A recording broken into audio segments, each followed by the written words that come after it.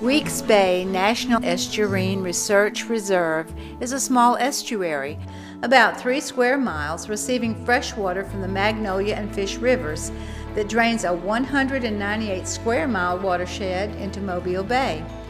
This sub estuary of Mobile Bay averages just 4.8 feet deep and is fringed with marsh and swamps. This reserve land also includes upland and bottomland hardwood forests, freshwater marshes, submerged aquatic vegetation, and unique bog habitats. It is also an important nursery for shrimp, bay anchovy, blue crab, and many fish, as well as crustaceans and shellfish that support the commercial fisheries.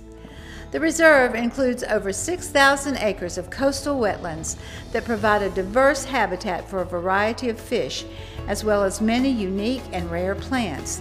This is also an important site of scientific research on estuarine ecology.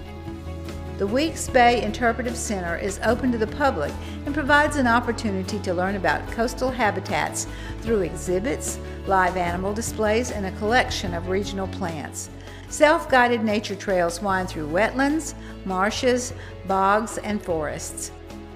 Weeks Bay National Estuarine Research Reserve is also the habitat for more than 330 species of birds and more than 50 mammals, three of which are endangered, including the Florida black bear, the marsh rabbit, and the bayou gray squirrel. This ecosystem is ever changing, and the Interpretive Center offers a great overview of the estuary.